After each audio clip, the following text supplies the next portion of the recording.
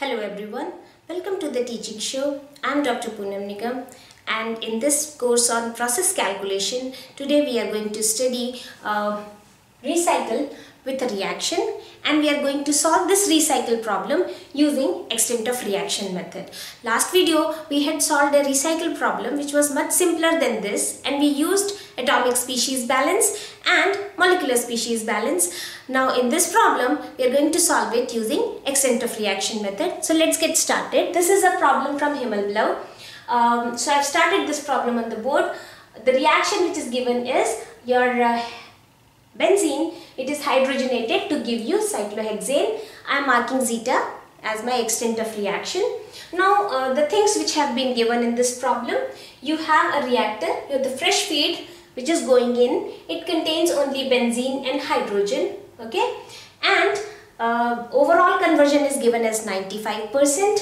Your single pass conversion is 20% and what is given further is that whatever is the recycle stream it has a composition. Its composition is given. That is the mole fraction of benzene and hydrogen are given in this problem. Okay.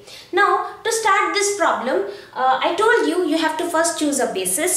Now in this case you can you have option of two streams which you can choose as basis. First is the feed which you can choose as the basis or you can also use a recycle stream as basis. Why I am saying that? I asked you uh, whatever stream which uh, for which you have been given the composition you can choose that as your basis. So you know the composition of the recycle stream you can choose it as a basis. But in this while solving this problem i am taking right now the basis as the amount of uh, benzene which is going in. So i am choosing basis as 100 moles of benzene. Okay? Uh, so my first step is over. I am going to take 100 moles of benzene as my basis. Second step is to I have fully I have to fully label my flowchart. That's what I have done it for you. I am saying okay. So N1 moles of benzene that is 100 moles it is going in. N2 moles of hydrogen they are in 20% excess. Okay. Now in the product stream you have all the three components which are coming out. Uh, you have the product plus the unreacted component. So I am labeling it N3, N4 and N5 of the respective molar flow rates. Okay. Now the uh, product stream which is coming out from the reactor, it again also contains all the three components. So I am labeling it as N7, N8 and N9 for the benzene, hydrogen and cyclohexane respectively. Okay. And N6 I have labeled as the recycle stream. Okay, now let's start solving the problem. So I have been given three process specifications. First, the overall conversion is 95%.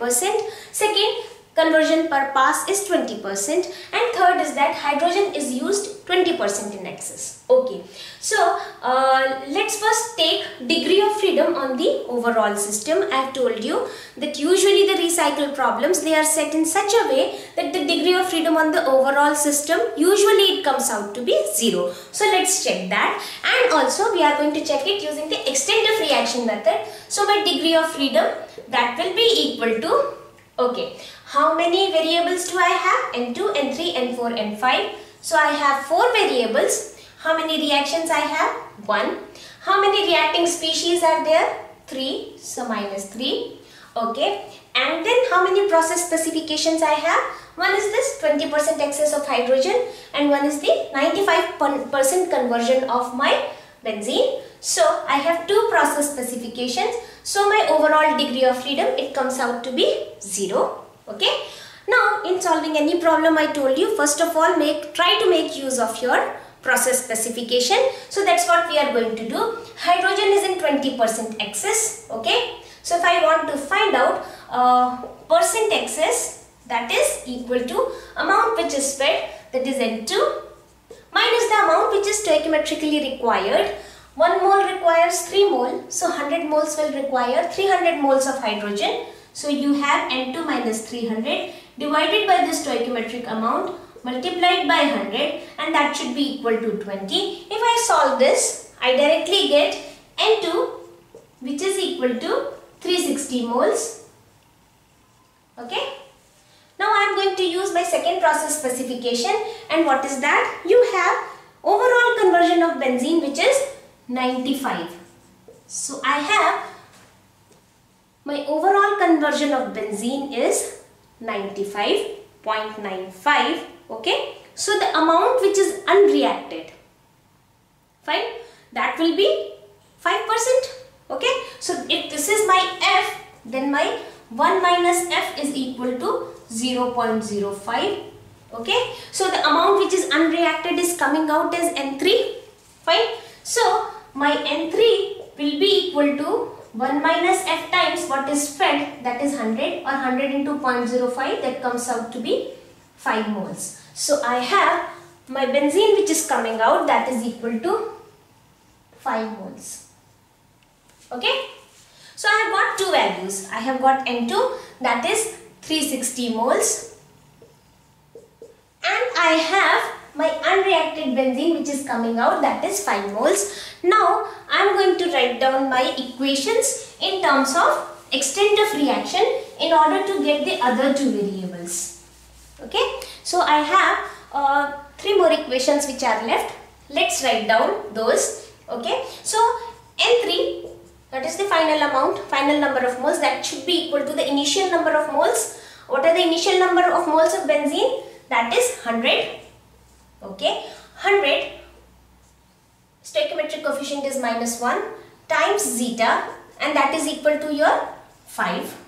So from here I get the value of zeta as 95 moles. Okay. Then I am going to write what is N4 how much is fed?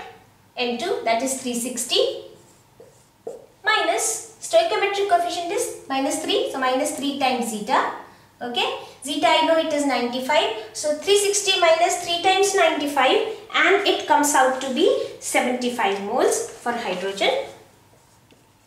Okay? Similarly I am going to find out N5 how much is going in? Nothing. And the stoichiometric coefficient is plus 1 so I have only zeta. So n5 is equal to 9 zeta that is 95 moles okay so I have got these four uh, values now okay so I am going to update it n4 is equal to 75 moles and n5 is equal to 95 moles okay so I have taken the overall balance. I got the values of 4 unknowns. Now let's see how to proceed. If I take uh, my balance on separator, okay, how many unknowns do I have? 1, 2, 3 and 4. I have 4 unknowns. How many equations do I have? I have only 3 independent. Uh, see molecular species balance if I try. I have only 3 species balance. So the degree of freedom is 1 okay so I cannot solve on the separator but one thing I can get from this okay just by looking at the problem your product uh, C6H12 it is coming out only in this stream okay it is not coming out in this stream fine so if I take C6H12 balance I directly get that my N9 will be equal to my N5 so I get to know the value of at least one of the flow rates by taking your balance on the separator. So I have used that over here. Okay? Now if I take my um, degree of freedom on reactor again how many unknowns I have now? N7 n8 and what else? Your n6 uh, no not n6 uh, this is the combined stream. I don't know the composition. I don't know the flow rate so uh, degree of freedom is definitely not zero over there okay? So similarly if you check in the mixing point you cannot solve over there also. So how what to do now? What we will do is that we will now combine uh, this mixing point along with this reactor and take a balance on that. So let's now choose our system like this okay? So I'm going to take balance now on this system combined and let's do first the degree of freedom analysis for that. Okay for this combined system of mixing point plus reactor. How many streams are going in? This is one stream and this recycle stream is the second stream which are going in. And this is the stream which is coming out. Okay so let's say degree of freedom. How many unknowns i have? N7 n8 and n6 there are three unknowns. Okay and plus i have uh, one reaction which is taking place. So plus one okay how many reactive species are there three so it will be minus 3. And how many process specifications I have? 20% conversion. So I have one process specification. So my degree of freedom is 0. Okay, I can solve on this and get the value of N6. That is what we want to calculate the recycle ratio. Fine. So let's do that. So I'm going to write this equation in terms of again zeta. Let's write down. So I have N7 which is coming out. That should be equal to the number of moles, initial number of moles that is equal to the number of moles of benzene which are going in. How many number of moles of benzene are going in? That is 100 plus 0.2274 times N6 that is the number of moles initially which are going in. Okay? Now again it is minus times zeta.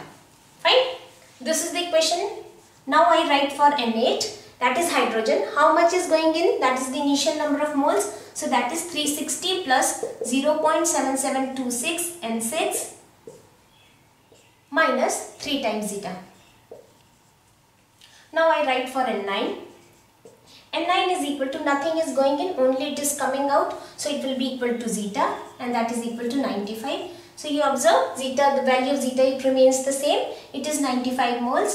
Okay, there is no need to calculate it actually. Zeta should be fixed for this. Uh, we have already calculated it in the overall balance. So it will remain the same. Okay, so zeta is again 95 moles now, even if I put the value of zeta, I have these two equations in three unknowns that is N7, N8 and N6. So, I will now make use of my process specification that is 20% conversion per pass. Okay. If there is 20% conversion per pass, that means okay I have to base first of all on the limiting reactant which is benzene. So N7 is the amount of benzene which is coming out. If 20% conversion is taking place place then 80% of will it will be unconverted and it will be coming out in the stream so this should be basically n7 it should be equal to 80% or 0.8 times of what is being fed and what is being fed is nothing but addition of these two streams which are going in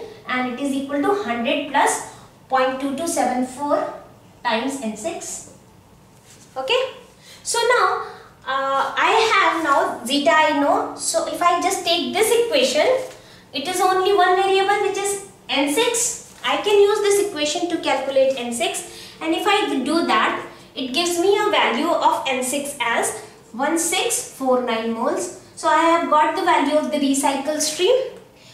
I have to find the recycle ratio, what it will be. So my recycle ratio is basically the recycle stream flow rate uh, N6 divided by your fresh feed. Fresh feed is 360 plus 100. So it is 460 moles. So N6 if I just put the value and divide it, I get the recycle ratio as 3.58.